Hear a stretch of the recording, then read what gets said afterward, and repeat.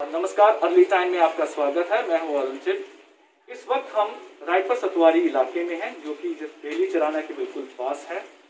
यहाँ के जो स्थानीय निवासी हैं, उनकी जो परेशानी इस समय, जिस परेशानी से वो जूझ रहे हैं, कि उनको राशन नहीं मिल रहा यहाँ पर। राशन डिपू पे, उनको राशन की जो इस समय किल्लत हो रही है, उनको परेशानी हो रही है इस लॉकडाउन के दौरान। जबकि इस लॉकडाउन में हालाँकि लोगों के जो काम है काम काज सब बंद है और इस परेशानी में भी, इस लॉकडाउन में जो उनको परेशानी का सामना कर रहा पड़ रहा है, उसमें राशन ना मिलना उनकी परेशानियों को और बढ़ा देता है।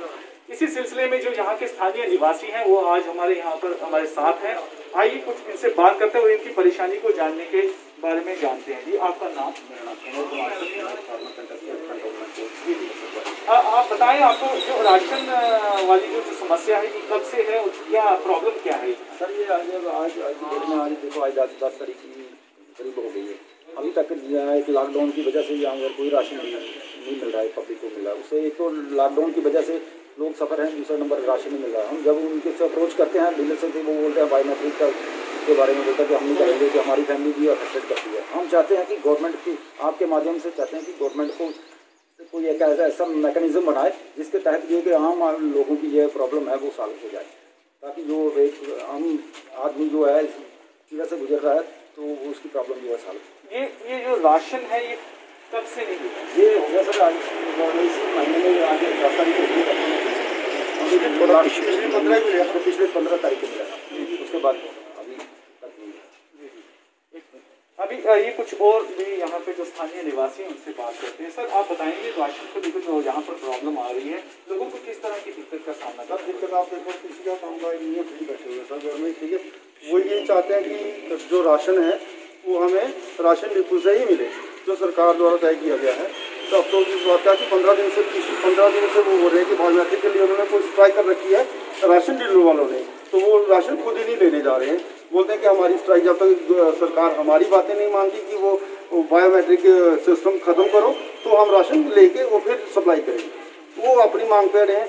उन उन मांगों के बजाय हम सफरिंग कर रहे हैं। आम पब्लिक सफरिंग कर रहे हैं। जिनके पास दिहाड़ी के लिए पैसा नहीं है। तो वो कैसे दुकान से तीस, पैंतीस रुपये किलो आटा लेके खाएगी? और तो आपको पता राशन डिपो में चौदह, पंद्रह रुपये मिलता है। जी जी। आप बताएँ, सर। कि क्या राशन डिपो को लेकर आपने उनसे कोई बातचीत किसी यहाँ के सरपंच या पंच जो भी आपके यहाँ के रिप्रेजेंटेटिव होंगे उनसे कोई बात हुई? आपको ऐसा कोई नहीं हुई तो कभी राशन राशन डिपो में जाकर कहने का मतलब तो राशन डिपो में ही जाएँगे ना राशन के लिए। तो आपको मिलना चाहिए ना। अगर पिछले पंद्रह तारीख को मिल रहा है तो अभी मिलना चाहिए दो दिन तारीख को मिल जाना चाहिए। दस पता नहीं कब मिलेगा डेट का कब गवर्नमेंट के साथ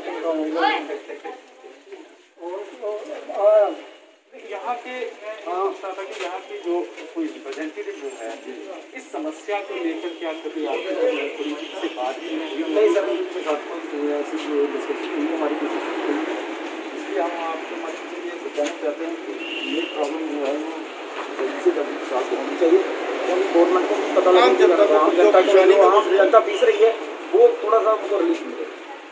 गवर्नमेंट को ऐसा मैकेनिज्म बनाए ताकि राशन जो है इस लॉकडाउन में आम पब्लिक को जितना वो भी नहीं कर सकती क्योंकि इतना महँगा राशन बाज़ार से नहीं हम चाहते हैं कि जल्दी से जल्दी जितना भी राशन हो सके जो मिलना चाहिए मिलना चाहिए और जो फ्री मोदी ने जो घोषणा की है मोदी आप बताएँगे कि पिछले साल के जो लॉकडाउन की जो मुकाबले इस साल ज़्यादा प्रॉब्लम आप लोगों को फेस करनी पड़ रही है? इस साल सबसे ज़्यादा प्रॉब्लम पिछले साल बड़ी संस्थाएँ चल पड़ी थी। कोई यानी अगर गरीब का घर टूट गया वो उसको राशन पैक पहुँचा रहे थे।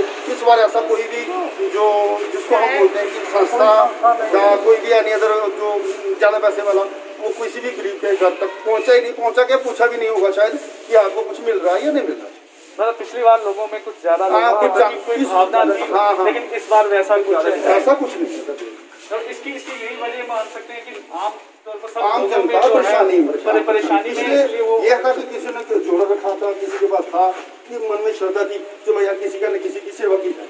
इस साल तो वो खुद परेशानी में लॉकडाउन ही रहा। कभी आया कभी गया। कोई अपना पेट पालेगा अपना पेट भरेगा तो किसी को देगा ना।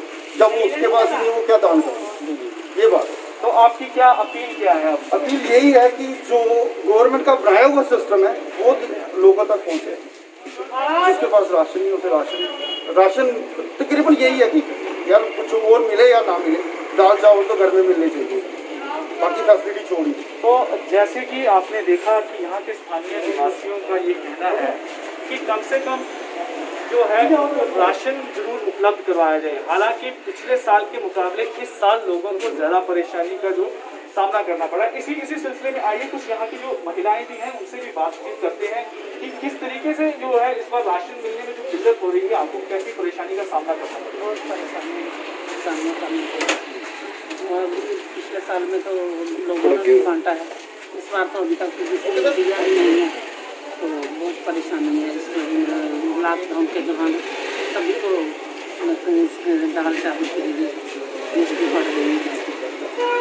तो कामकाज को लेकर काफ़ी परेशानी हो रही बहुत है परेशानी काम काज में है। क्योंकि दुकानें बंद है, सब्ज़ी वाली बंद है, सभी दुकानें बिज़नेस बंद है। हर आदमी को परेशानी हो रही है। काम ही चलेगा तो कोई खाएगा ना। जब कमाएगा नहीं तो खाएगा कहाँ से? तो इसलिए बहुत परेशानी है गवर्नमेंट के अभी यही अपील करते हैं कि प्रार्थना करते हैं कि सबको टाइम से भी जो है वो राशन दिया जाए। जो भी परेशानी है गरीबों की है अभी तो सभी एक जैसे ही हो गए हैं। जब बिजनेसमैन का भी बिज़नेस बंद है, दिहाड़ीदार की भी दिहाड़ी नहीं लग रही है तो कहाँ से खाएँगे वो? सभी परेशानी है। तो देखा कि कितने परेशानी है ये सब लोग और अपनी परेशानियों को कैसे व्यक्त कर रहे हैं और उनका कहना है कि कम से कम आम लोगों को जो है एक राहत ज़रूर मिलनी चाहिए, जो एक राशन का डिस्ट्रीब्यूशन जो है वो टाइमली होना चाहिए ताकि उनके घर जो है वो रोज खाना बन सके, क्योंकि लॉकडाउन की वजह से जो उनके अपने काम हैं, वो बिल्कुल बंद हो चुके हैं, जिसके कारण उनके पास कोई काम का और साधन नहीं